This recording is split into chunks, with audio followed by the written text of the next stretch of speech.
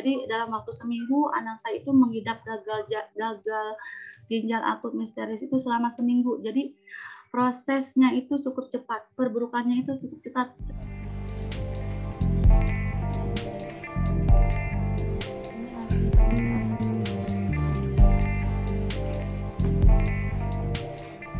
Dan sampai saat ini saya masih bertanya-tanya sakit anak saya itu karena apa gitu kan gejalanya cuman muntah-muntah tapi kok bisa diponis? Gagal ginjal akut misterius. Awal mulanya anak saya itu pas malam Jumat itu sempat panas. Sempat panas di sekitar 40 derajat di jam 3 malam. Jadi di jam 3 malam itu saya berinisiatif sama ayahnya itu kasih obat paracetamol cair dan sempat ada pileknya saya kasih obat sirup juga mereknya Rinos gitu kan Alhamdulillah anak saya itu tidak berlanjut panas sama, sama pileknya itu. Jadi sudah membaik di hari Jumatnya itu.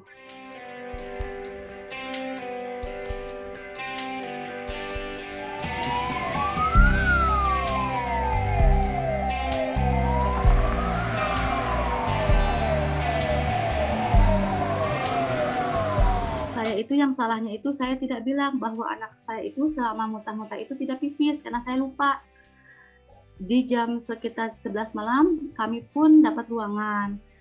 Pas di ruangan itu uh, anak saya tuh masih tetap dengan keadaan muntah-muntah sampai pagi. Pas paginya itu dokter uh, spesialis anaknya itu visit ke anak saya. Dan kebetulan saya itu pas lagi buka pembes anak saya. Dan dokternya bilang, apa ada keluhan lain selain muntah-muntah? Saya bilang, anak saya kok tidak pipis ya dok? Saya bilang dari hari Sabtu malam pas mulai muntah-muntah. Dokternya langsung bilang begini ke saya bu eh, kami akan melakukan penelitian lebih lanjut. Eh, anak ibu takutnya gagal ginjal. Ibu karena anak ibu itu sudah tidak pipis dua hari dan udah kena gagal ginjal stadium 3 anak ibu secepatnya harus pindah ke ruangan picu karena di ruangan picu itu uh, dokter sama susternya itu 24 jam memantau anak ibu gitu kan.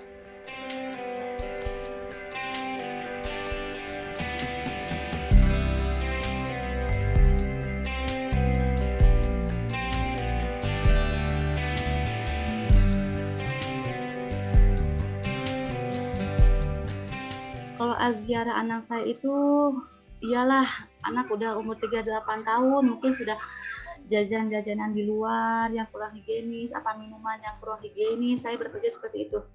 Tapi ketika saya di rumah sakit itu, banyak teman-teman seperjuangan Azkia itu Pak, bayi yang usianya 4 bulan, 6 bulan, 5 bulan, 7 bulan, setahun, ibaratnya mereka juga sama, kena gagal ginjal akut misterius. Apalagi kan bayi 4 bulan, 6 bulan itu mereka belum makan apa-apa, masih toh ASI.